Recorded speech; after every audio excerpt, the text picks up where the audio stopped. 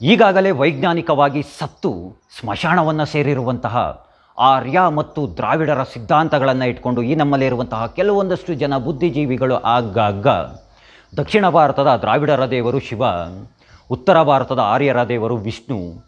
ಈ ಉತ್ತರ ಭಾರತದವರಾದಂಥ ಆರ್ಯರು ದಕ್ಷಿಣ ಭಾರತದ ದ್ರಾವಿಡರ ಮೇಲೆ ದಾಳಿಯನ್ನು ಮಾಡಿ, ಆಕ್ರಮಣವನ್ನು ಮಾಡಿ ದಕ್ಷಿಣ ಭಾರತದ ದ್ರಾವಿಡ ದೇವರಾದಂತಹ ಶಿವನನ್ನು ಆಕ್ರಮಿಸಿಕೊಂಡು ವೈದಿಕ ದೇವರನ್ನಾಗಿ ಪರಿವರ್ತನೆಯನ್ನು ಮಾಡಿಬಿಟ್ಟಿದ್ದಾರೆ ಅಂತ ಆಗಾಗ ಸೋಷಿಯಲ್ ಮೀಡಿಯಾಗಳಲ್ಲಿ ಬಂದು ಬಾಯಿಗೆ ಬಂದ ರೀತಿಯಾಗಿಯೇ ಪುಂಕ್ತನೇ ಇರ್ತಾರೆ ಓಂಕಾರದಲ್ಲಿ ಆಕಾರ ಬರುತ್ತೆ.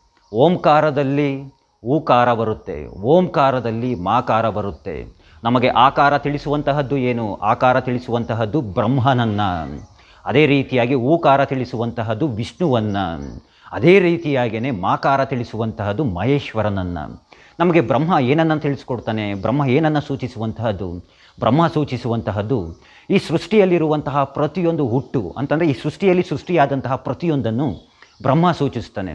ಅದೇ ರೀತಿಯಾಗಿ ಮಹಾವಿಷ್ಣು ಸೂಚಿಸುವಂತಹದ್ದು ಈ ಸೃಷ್ಟಿಯಲ್ಲಿರುವಂತಹ ಪ್ರತಿಯೊಂದು ಜೀವಿಯ ಜೀವನವನ್ನು ಮಹಾವಿಷ್ಣು ಸೂಚಿಸುವಂತಹದ್ದು. ಅದೇ ರೀತಿಯಾಗಿ ಭಗವಂತ ಶಿವ ಏನನ್ನು ಸೂಚಿಸುವಂತಹದ್ದು?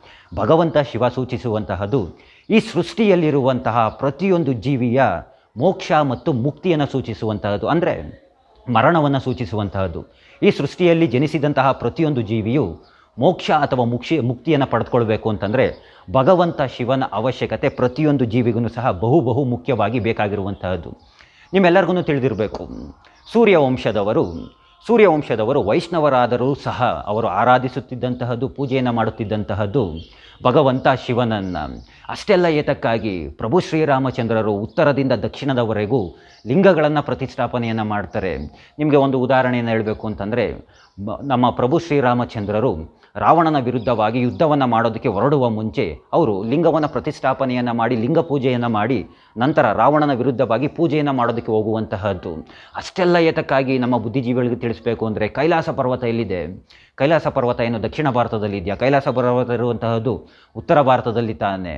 ಈ ನಮ್ಮ ಬುದ್ಧಿಜೀವಿಗಳ ಯೋಚನೆಗಳು, ಅವರ ಚಿಂತನೆಗಳು ಒಂದು ರೀತಿಯಾಗಿ ವಿಚಿತ್ರವಾದಂತಹವು. ಇವರು ಒಂದಷ್ಟು ದಿನಗಳು ಬಿಟ್ಟ ನಂತರ ಯಾವ ರೀತಿಯಾಗಿ ಹೇಳ್ಬಿಡ್ತಾರೆ ಅಂತಂದರೆ, ಈ ಕೈಲಾಸ ಪರ್ವತ ದಕ್ಷಿಣ ಭಾರತದಲ್ಲಿತ್ತು, ಈ ಆರ್ಯರು ಆಕ್ರಮಣವನ್ನು ಮಾಡಿ ಕೈಲಾಸ ಪರ್ವತವನ್ನು ತೆಗೆದುಕೊಂಡು ಹೋಗಿ ಉತ್ತರ ಭಾರತದಲ್ಲಿ ಇಟ್ಬಿಟ್ಟಿದ್ದಾರೆ ಅಂತ ಹೇಳಿದ್ರೂ ಹೇಳ್ಬೋದು, ಏನು ಮಾಡೋದಕ್ಕಾಗೋದಿಲ್ಲ. ಇವನ್ನೆಲ್ಲ ನಿಲ್ಲಿಸಿ ಒಂದು ಸ್ವಲ್ಪ ತಲೆಯಲ್ಲಿ ಬುದ್ಧಿಯನ್ನು ಉಪಯೋಗಿಸಿ ಒಂದು ಸ್ವಲ್ಪ ಮಾತಾಡೋದನ್ನು ಕಲಿಯಿರಿ. ನಮಗೆ ತ್ರಿಮೂರ್ತಿಗಳು ಅಂತಂದರೆ ಬ್ರಹ್ಮ, ವಿಷ್ಣು, ಮಹೇಶ್ವರ ನಮಗೆಲ್ಲರೂ ಒಂದೇ ನಾವೆಲ್ಲರನ್ನೂ ದೇವರು ಅಂತಲೇ ಆರಾಧಿಸುವಂತಹದ್ದು, ಪೂಜೆಯನ್ನು ಮಾಡುವಂತಹದ್ದು.